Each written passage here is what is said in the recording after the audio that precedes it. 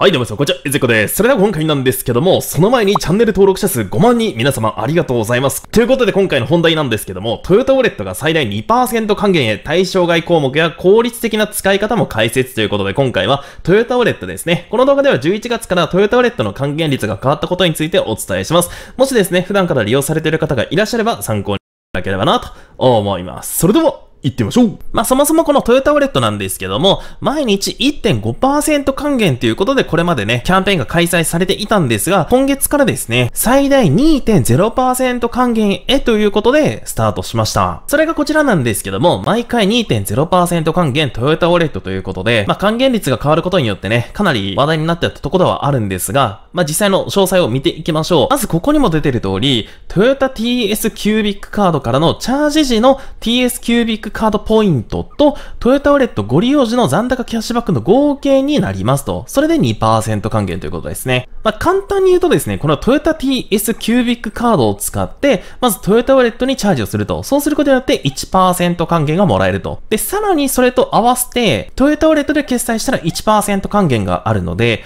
それを合わせることによって合計2.0%還元が可能ということでございます。なので、このトヨタウォレット単体で決済した場合でも1.0% 0%還元なんで、まあ以前の1.5%還元と比べると0.5%還元率が下がったというような認識で OK かなと思います。ちなみに、この TS キュービックカード1%還元なんですが、トヨタウォレットにチャージすることによってポイント付与の対象となるクレジットカードとして、今出てるこれらの TS キュービックカードについて、まあ、ポイント還元を受けることができるということでございます。で、これですね、YouTube のコメントで、ダックスさんから教えていただいたんですけども、もともとこの TS キュービックカードは、ここにも出てる通り、次の場合は TS キュービックカードポイントの付与の対象となりませんということで、もともとこの TS キュービックカードを使ってレットの残高にチャージをすることで、ポイントっていうのはつかなかったみたいなんですよね。ですけども、今回のこのトヨタウォレットのいわゆるキャンペーンだと思うんですが、それを適用されることによって1%がつくようになりましたよということでございます。なので、この最大2.0%還元のキャンペーンが終わったら、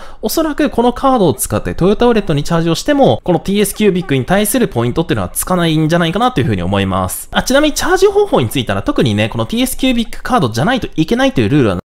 効率的な使い方も後ほどね、解説をします。で、もしですね、トヨタウォレット利用される際なんですけども、このキャッシュバックの対象外になったものもね、追加されてましたので、ちょっとこちらを見ていただきたいんですが、これがこちらですね、一部加盟店における決済利用停止のお知らせということで、トヨタウォレットでは11月9日より以下加盟店での決済利用を停止させていただくことになりましたということで、まだね、この動画をアップしてるのは11月4日なので、まだ今のところ大丈夫みたいなんですけども、今回決済利用を停止する加盟店として、なんと、ナナコとワオンがね、キャッシュバックの対象外、いわゆるその決済利用を停止するということですね。結構思ったよりね、早早い段階で対策を練ってきたなと思いまして、まあ、ここ最近ね、ほんと Apple Pay の7個と1音が登場したことによって、おそらくこのルールが新たに追加されたんじゃないかなと思うんですけども、もしね、チャージとかをされる方はですね、事前に、まあ、上限いっぱいチャージをしようというよりかは、まあ、生活の範囲内で使える分ね、これら2つにまあチャージしておくのもありかなと思います。ちなみにですね、ご利用できない加盟店とこ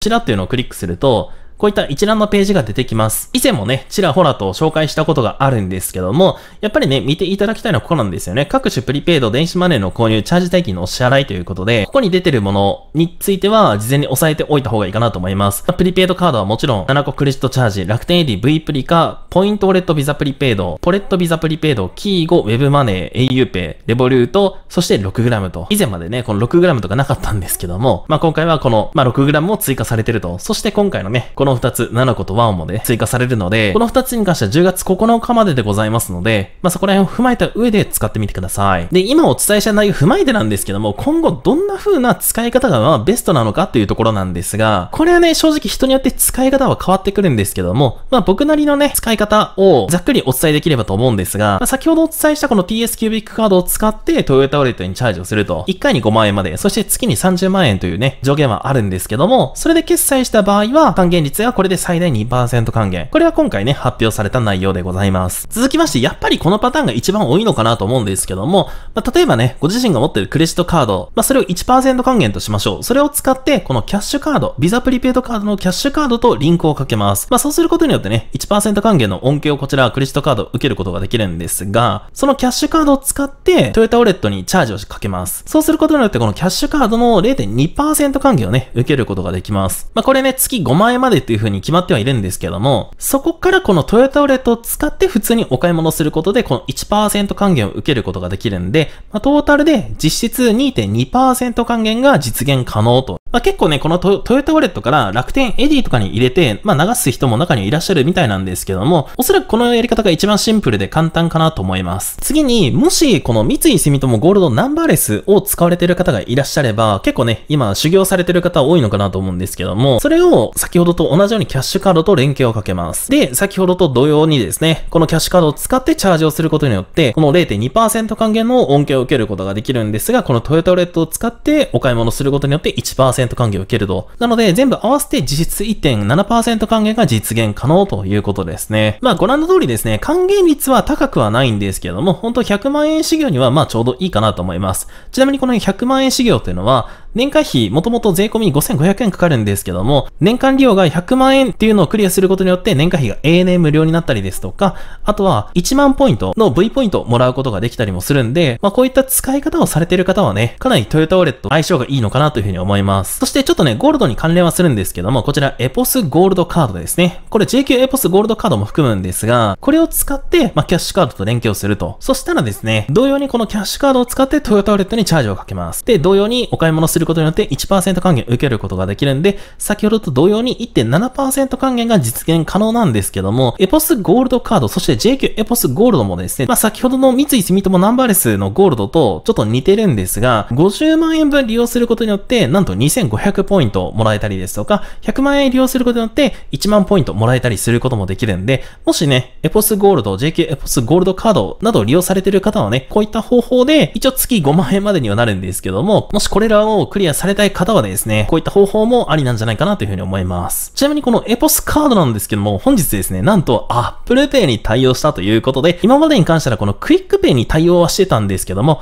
ここにね、新たにビザのマークが入ってるということなんで、このエポスカードを使って Apple Pay のビザのタッチ決済ができるようになったということでございます。まあ、今回プレスリリースも出てはいたんですけども、特になどは出てなかったので、もしね、もともと利用を検討されてた方はビザタッチでぜひお買い物してみてください。ちなみになんですけども、なんと僕が持ってるこの JQ エポスゴールドカードもですね、今回新たにこのビザのマークが入ったんですよね。まあ、知ってる方はご存知だと思うんですけども、こちらのカード見ていただいたらわかるように、なんと、このカード単体では、あの、タッチ決済のマーク、いわゆるリップルマークっていうのが入ってないんですよね、このカードには。ですけども、今回の Apple Pay に対応したことによって、ここにビザのマークが入ってるんで、この JQ エポスゴールドカードを使って、なんとタッチ決済ができるということなんですよね。まあ今後ね、ちょっと個人的な期待ではあるんですけども、今後この JQ エポスゴールドカードもね、カード単タッチ決済ができれば結構嬉しいかなというふうに思います。まあちょっとね、話は逸れたんですけども、今日お伝えしたことを簡単にまとめていくと、2021年の11月1日より毎回最大2.0%還元に変わりましたよと。で、トヨタウレット単体で決済した場合に関しては還元率が1%還元なんで、まあこれまで1.5%還元で行われてたものっていうのが1%ってるんで、そこは気をつけてください。まあ、いろんな組み合わせ方法あるんですけども、クレジットカードと、そしてキャッシュカード、あとはトヨタウレットの組み合わせの場合は月5万円までであれば、まあ、先ほどお伝えしたような恩恵を受けることができますんで、もしね、利用される方は先ほどの方法も参考にしてみてください。まあ、そんなこんなで今回は毎回2.0%還元にトヨタウレットが変わりましたよということについて、簡単ではありましたけども、お伝えさせていただきました。まあ、これ以前のめ動画でも少しお伝えしたんですが、スマホ決済のね、代表といえばやっぱり PayPay があると思うんですけども、PayPay とかももともと還元率は結構良かったんですが、それがね、徐々に下がっていって、条件付きの還元率が0.5%から1.5%還元ということになってるんで、まあ、トヨタウレットも若干その傾向になってきつつあるのかなと思います。なのでね、もし利用される方は、まあ、無理に使う必要はないんですけど、今のうちにお得に使ってみるのもやっぱりありなんじゃないかなと思います。あとですね、もしこのトヨタウルレット利用される方で、こういった方法とかこういった組み合わせがお得ですよっていう風なアドバイスのコメントあれば、ぜひね、コメント欄書いていただければと思います。そして、トヨタウルレットのインストールまだの方いらっしゃいましたら、こちら概要欄に一応僕のコードとリンク貼っておきますんで、またね、こちら詳細気になる方いらっしゃればチェックしていただければなと思います。ということで、本日の動画は以上です。ご視聴どうもありがとうございました。チャンネル登録5万人もありがとうございました。